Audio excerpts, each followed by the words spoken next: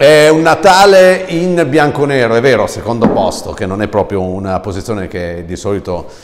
compete alla Juve e, o che sgrana chissà quali emozioni ai tifosi della Juventus, ma questa volta il secondo posto speciale arriva con eh, due momenti eh, memorabili, una chiusura eh, quasi direi di 2023, eh, di anno solare 2023 con eh, un balzo di eh, fiducia vera dell'ambiente bianconero in vista della gara del 30 di eh, dicembre contro la Roma in casa con uno stadium che non sarà solo gremito ma sarà appassionato a cercare di guidare questa squadra un'impresa ritenuta dai tifosi della Juventus eh, quasi impossibile, quella di competere per lo scudetto, davvero. Eh, la parola continuerà a non uscire dall'ambiente societario e dall'ambiente eh, diciamo più eh, istituzionale nella comunicazione, incluso l'allenatore, ma continuerà invece ad aleggiare, a, a fare da, da, da, da, stimolo, a dare in qualche modo spinta all'interno dello eh, spogliatoio, questo ancora di più, dopo che eh, il sigillo arriva dai due più attesi, eh, che sono stati messi in contrapposizione eh, a inizio partita con la scelta clamorosa di Allegri di scendere in campo a Frosinone senza Dusan Vlaovic nonostante le mancate convocazioni di Ken e Chiesa. Una Juve tirata eh, a, dire, al limite con gli attaccanti, solo tre disponibili e uno è il cosiddetto ragazzino, Kenan Ildiz. Eh, Allegri sceglie Ildiz, manda in panchina Vlaovic, vuole dare fiducia a Milik che eh, era parso piuttosto contrariato e amareggiato nell'ultimo mese per lo scarso utilizzo, giocano Milik e il Diz, segna il Diz e che gol! Dopo poco più di 10 minuti, segna a dimostrazione che quell'etichetta di predestinato a eh, un senso e forse non è casuale se sono eh, gli stessi addetti ai lavori che hanno lavorato con lui in passato, gli stessi ex compagni di squadra nelle trafile eh, delle giovanili, sia alla Juventus che al Bayern Monaco a dire ha qualcosa di diverso. Questo ragazzo ha qualcosa di diverso, cosa di diverso si vede perché nel momento di esitazione del Frosinone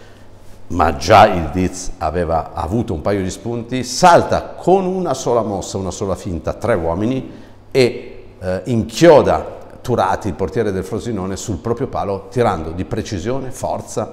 eh, rendendo eh, quasi incolpevole il portiere che pure prende il gol sul proprio palo. La Juve va in vantaggio, addomestica un Frosinone molto deludente nel primo tempo, Frosinone praticamente non tira in porta, non riesce a far vedere nulla di quello che eh, è stato il Frosinone fin qui. Sembra una partita a quel punto indirizzata, eppure la Juve spesso succede quest'anno, troppe volte succede, quando torna in campo è un'altra squadra, a volte nel bene, a volte nel male, ma fa proprio un'altra partita, cioè si trasforma e tu non sai mai cosa ti trovi, ti trovi una Juve che guarda il Frosinone, guarda, lo guarda un po' con aria di superiorità, come se il compito fosse già stato svolto, già portato a termine. Eh, nulla di più falso, succede che nel nell'addormentarsi della Juve c'è la punta d'orgoglio del Frosinone che non fa chissà cosa ma trova una soluzione in stile di Francesco, palla giocata veloce nello spazio alle spalle della difesa della Juventus, un'esitazione colossale eh, di eh, Kostic e Danilo, direi soprattutto Kostic, eh, autore di una gara dove eh, è stato sì presente ma praticamente non ha azzeccato una cosa che sia una. Incredibile, la serie di errori tecnici e gli errori, eh, mi verrebbe da dire, logici di eh, lettura, di giocata, di esecuzione, ma una gara da 5, da 4 e mezzo quella di Kostic, allucinante, questa palla gli passa alle spalle, è un raso terra,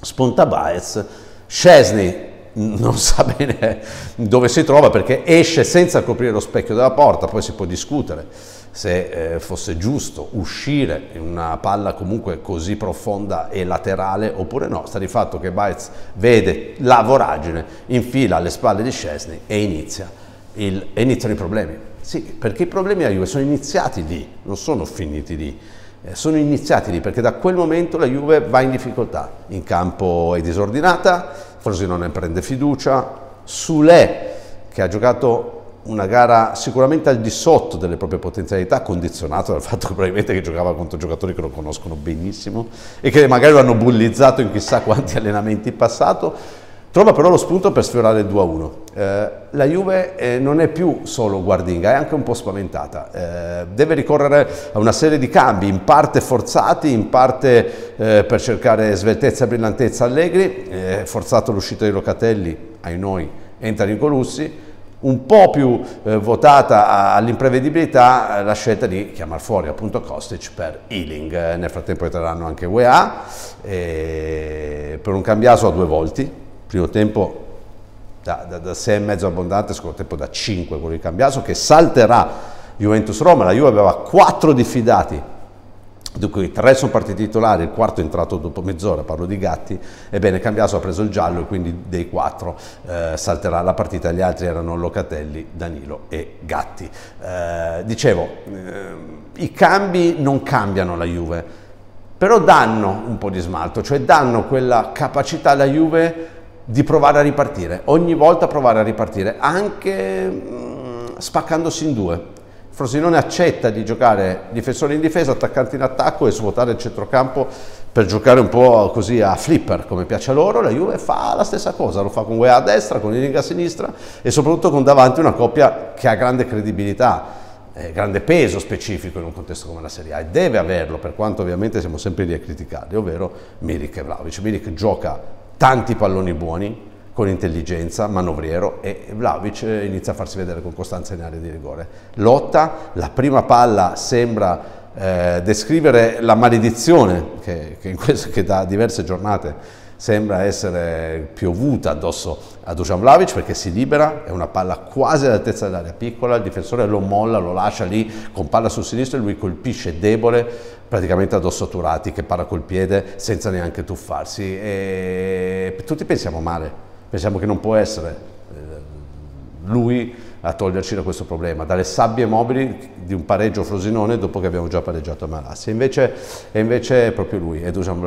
a fare tutto il resto. Eh, devo dire che il migliore in campo della Juventus nel globale, ovvero Weston McKinney, se permette di guardare in mezzo e scegliere eh, come e dove dosare il traversone che porterà alla grande inzuccata di Dusan Vlaovic, un po' Boninsegna, un po' Bettega, palla eh, che prende sul colpo di testa una, un effetto, una rotazione, una forza che scende sotto la traversa e nulla può atturare. Un bellissimo gol, quest'anno Vlaovic ha segnato soltanto gol belli e purtroppo per lui, e questo lo, lo ha condannato anche la diffidenza dei propri tifosi fin qui, non ha fatto quelli più semplici, ma eh, si può sempre ripartire. Eh,